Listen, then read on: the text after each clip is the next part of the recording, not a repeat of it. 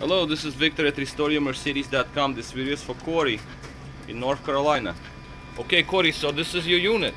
And uh, I just took it out the freezer and it's been energized for quite some time now. And you can see, take these units apart. And it works very well. This is how it cleaned up.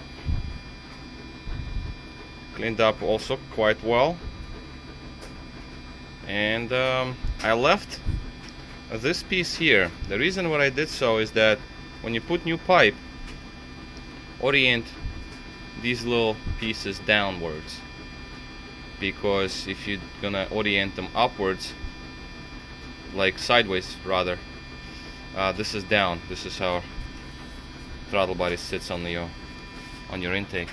So you have to leave these down um, same exact way as this one because if you're gonna have them sideways there is an intake runner runs over here. So these little lips here they're gonna hit it and um, and not be able to put throttle body really flat. You're gonna start bending these things. So you gotta make sure that these things are oriented downwards. So other than that again this is how it cleaned up. And um, it's been energized for quite a long time it's been working fine and I have no problems with it. And um, let's just shut it down. Okay unit is off.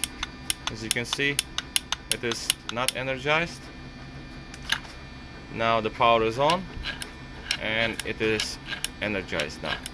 So as we see it does work well. I mean my apologies for a little shaky video but a lot of work today so I have to do it with my cell phone. And again we're gonna just put it on this little spinner and have it have it run before I pack it. So put the speed on.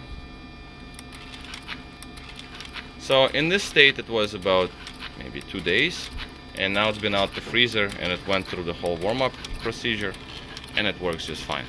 Alright so this is basically a quick video here to show that unit is ready to go. All the wires were completely dust. A very long loom on this one. This is S-class unit. And uh, the connector is there you know finished sealed. So we're good to go.